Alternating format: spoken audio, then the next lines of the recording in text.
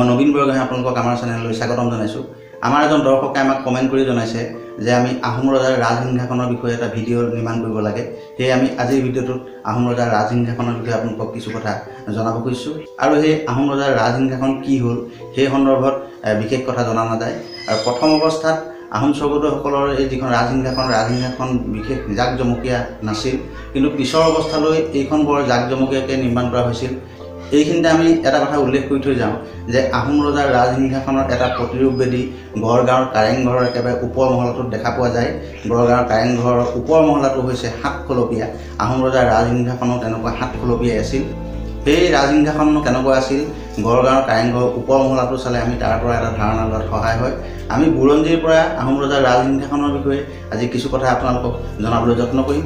আহক আমি ভিডিঅ'টোৰ পৰৱৰ্তী অংশটোলৈ আগবাঢ়ি যাওঁ। দৰ্শকসকল আমি এটা কথা উল্লেখ কৰিছোঁৱেই যে আহোম ৰজাৰ ৰাজসিংহাসন আচলতে সাতখলপীয়া আছিল আৰু বুৰঞ্জীৰ বৰ্ণনাৰ পৰা জনা যায় যে এই ৰাজসিংহাসনত হেঙুল হাইতালেৰে ৰহণ কৰি লাৰে বন কৰি দিছিল আৰু এই কথাটোৰ পৰা আমি বুজি পাওঁ যে আহোম ৰজাৰ ৰাজসিংহাসনখন আচলতে কাঠেৰে তৈয়াৰী আছিল। ইয়াৰ কাৰণ হ'ল হেঙুল হাইতাল সেই সময়ত ৰং হিচাপে কাঠতহে ব্যৱহাৰ কৰা হৈছিল। আৰু ৰাজসিংহাসনৰ যিমান ফলক আছে সাত ফলক সেই ফলকৰ প্ৰত্যেক প্ৰত্যেক অংশতে সোণৰ পাত মৰা আছিল। তাত পান্না ডালিমা আদি বিভিন্ন বাখৰেৰে সেইবোৰ বাখৰ পতা আছিল। আৰু তাত থকা যিখিনি সিংহ এই সিংহবোৰৰ ডিঙি অংশ আৰু পিঠিৰ অংশত উত্তম বাখৰেৰে বাখৰ পতা আছিল। তাৰপিছত সিংহৰ যিবোৰ কেশৰ কেশৰবোৰ অতি উত্তম বগা ধবল ৰূপেৰে সেইখিনি কেঁকুৰা কেঁকুৰি দি কৰি দিছিল। আৰু সন্মুখভাগৰ কেশৰখিনিও ৰূপৰ গুণা কৰা আছিল।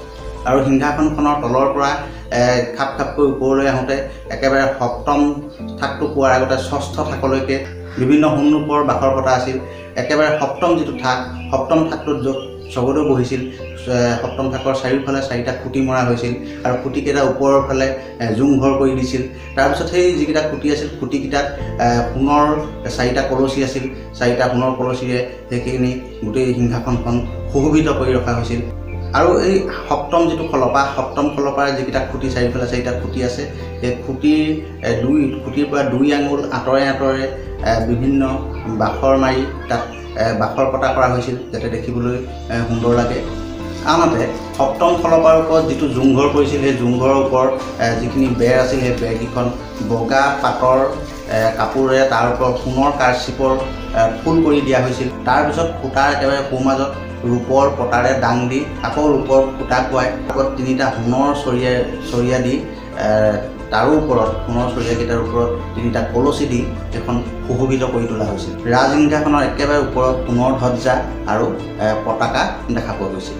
স্বৰ্গদেউ য'ত বহিছিল যিটো সপ্তম খাপ সেই সপ্তম খাপ বা সপ্তম থাকটো চাৰিচুকীয়া আছিল তাত মখমলৰ তলিচা কৰা হৈছিল আৰু গুমচেং কাপোৰত তোলা ভৰাই তাত এখন তুলিও তাত পাৰি দিয়া হৈছিল। আৰু সিংহাসনখনৰ যিমান থাক আছিল সেই থাকবোৰৰ বিভিন্ন সমান ঠাইত হেংদাং ৰখা হৈছিল। এই হেংদাংবোৰ বিভিন্ন বাখৰ পকোৱা আছিল আৰু সেই হেংদাংবোৰৰ যিবোৰ মুঠি আছিল যিবোৰ নাল আছিল সেই নালবোৰ বিবিধ ৰকমে এইটো সোণেৰে সেই নালবোৰ নিৰ্মাণ কৰা হৈছিল। তদুপৰি সোণৰ পতা মাৰি পান্না ডালিমা আদি বাখৰ পকোৱা তাত তৰোৱাল ৰখা হৈছিল। তাৰোপৰি তেনেকৈ সোণৰ পানী চৰোৱা কিছুমান সৰু সৰু শিলৈও সেই সিংহাসনখনত সুশোভিত কৰিবৰ কাৰণে ৰখা হৈছিল। আমি এটা কথা উল্লেখ কৰিছোঁৱেই যে আহোম ৰজাৰ যিখন ৰাজসিংহাসন সেই সিংহাসনখনৰ একেবাৰে ওপৰৰ ফালে তিনিটা চৰিয়াত ওপৰত তিনিটা কলচী দিয়া হৈছিল আৰু তাৰে যিটো মাজৰ কলচী সেই মাজৰ কলচীৰ পৰা ওপৰলৈ সাতখন চন্দ্ৰতাপ অনা হৈছিল। আৰু তাৰে প্ৰথম যিখন চন্দ্ৰতাপ সেইখন সৰু আছিল সেইখনে মাত্ৰ সিংহাসনখনহে ঢাকে। আৰু সেইখন আছিল পদ্মফুল বচা কিংখাপৰ চন্দ্ৰতাপ তাৰ ওপৰখন আছিল কলকি বচা কিংখাপৰ। তাৰ ওপৰখন আছিল লতা ফুল বচা কিংখাপৰ। তাৰো ওপৰখন আছিল গুজৰাটী কিংখাপৰ। তাৰো ওপৰখন আছিল চৰাই পাখিৰ বৰণৰ। তাৰো ওপৰখন আছিল হালধীয়া বৰণৰ। আৰু ওপৰৰ যিখন চন্দ্ৰতাপ আছিল সেইখন আছিল বগা মিহিৰ পাতৰ। এই কি চন্দ্ৰতাপবোৰ এনেকৈ ক্ৰমান্বয়ে বহল হৈ গৈছিল। আৰু এই ইখনৰ পিছত সিখন চন্দ্ৰতাপ যেনেকৈ এ, ৰাজসিংহাসনখন তলৰ পৰা এনেকৈ খাপ খাপ হৈ খাপত য'ত স্বৰ্গদেৱ বহিছিল তাৰ ওপৰৰ পৰা আকৌ চন্দ্ৰতাপবোৰ এনেকৈ বাঢ়ি গৈছিল। গতিকে এই ৰাজসিংহাসন দেখিবলৈ খুব সুন্দৰ লাগিছিল। আৰু ৰাজসিংহাসনৰ দুয়োফালে চোঁৱৰ দৰে চোঁৱৰ তুলি আছিল।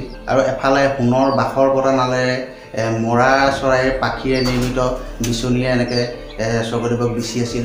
আৰু সিংহাসনৰ ওপৰত অনা যিখিনি চন্দ্ৰতাপ সেই চন্দ্ৰতাপখিনিৰ তলত কাকো বহিবলৈ দিয়া হোৱা নাছিল। সেইদৰে বহাটো সেইটো সেই সময়ত নিয়ম নাছিল।